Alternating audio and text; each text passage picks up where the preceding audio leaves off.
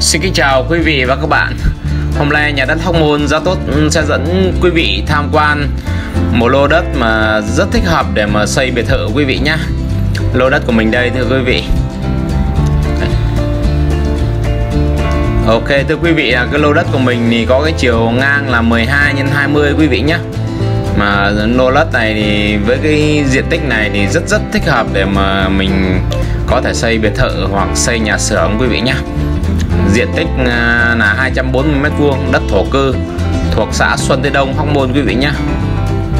Đường trước nhà mình là hiện tại là 6 mét quý vị. Tương lai cái đường của mình ấy thì nó tầm à, tầm 15 20 mét đấy quý vị. Đấy, mình à, đi vào trong sâu trong đô đất để cho quý vị xem quý vị nhé. Đất của mình thì tương đối bằng phẳng thưa quý vị. Đấy quý vị nhìn xem cái lô đất của mình à, xung quanh là người ta cũng xây nhà gần như hết rồi quý vị nhé Lô đất của mình là có chiều ngang là 12 Sâu 20 thưa quý vị. Thưa quý vị là cái lô đất của mình này có giá là 5,5 tỷ quý vị nhé Còn thương lượng một chút thưa quý vị. Nếu quý vị có nhu cầu mua lô đất này thì quý vị có thể điện cho Tân Hòa theo số điện thoại 0908 214842 quý vị nha. Thì ờ, nếu quý vị ờ, có cái nhu cầu mà mua đất để xây biệt thự thì lô đất này cũng rất chi là thích hợp quý vị.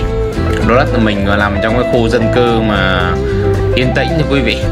Khu này xung quanh đây thì không có nhà xưởng nào đấy cho nên là mình có xây biệt thự được rất yên tĩnh.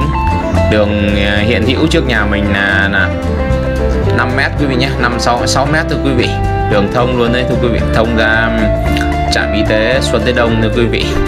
Bên kia ra là thông ra đường à, Xuân Tây Đông 13 quý vị nhé quý vị sẽ nhìn lại lô đất của mình nên rất gì là đẹp quý vị nhé vị trí cũng rất tắc địa. Quý vị hãy đăng ký kênh của Tân Hòa để cập nhật các thông tin à, mới nhất về nhà đất Hóc Môn quý vị nhé à, thì Tân Hòa cũng xin chân thành à, cảm ơn quý vị.